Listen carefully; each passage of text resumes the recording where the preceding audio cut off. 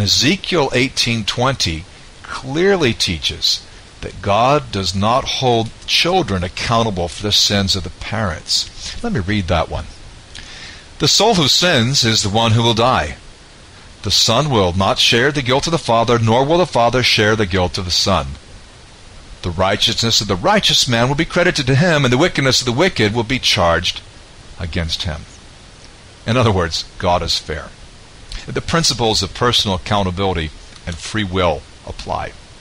Well, what about the Immaculate Conception?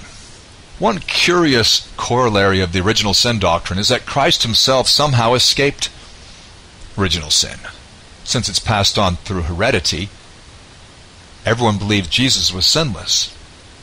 This really does cause a problem because if sin is passed generation to generation, then Jesus should have inherited sin from his mother. Now, it was postulated that since Jesus had only one human parent, she must have been without original sin.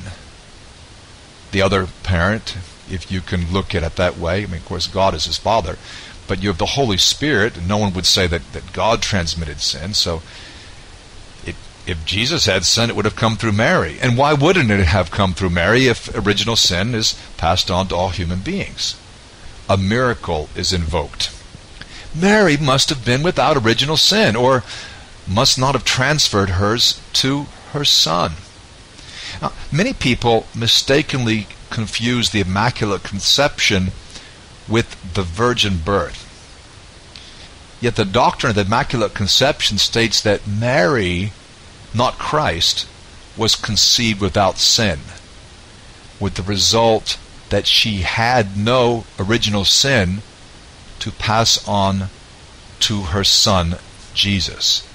So the virgin birth teaches simply that Mary was a virgin when she conceived. Immaculate conception, you would think it was about Jesus being born sinless. But no, that's not what that means. Immaculate conception means that Mary was born without original sin.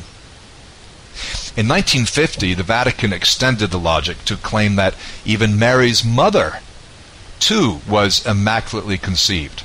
Her name is Anne, or Anna, or uh, Saint Anne. This, this is an official Catholic doctrine, but you see where this leads, don't you?